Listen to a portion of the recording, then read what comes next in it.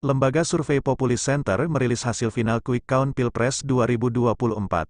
Dengan data masuk yang telah mencapai 100% itu, Prabowo Gibran unggul dalam ajang Pilpres 2024.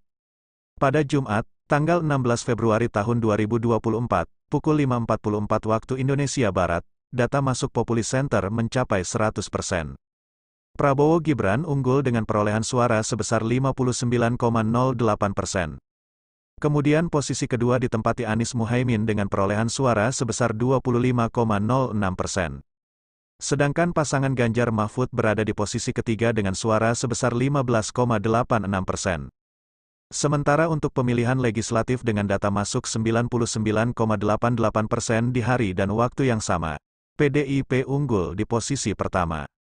PDIP unggul di posisi pertama disusul oleh Partai Golkar kemudian Partai Gerindra, Sementara partai lainnya yang dipastikan lolos ke Senayan adalah PKB, Partai Nasdem, PKS, PAN, dan Partai Demokrat. Adapun Populis Center menggunakan multi-stage random sampling dalam pengambilan quick count. Quick count itu dilakukan di 2.500 TPS di 38 provinsi di Indonesia dengan margin of error 0,16 persen.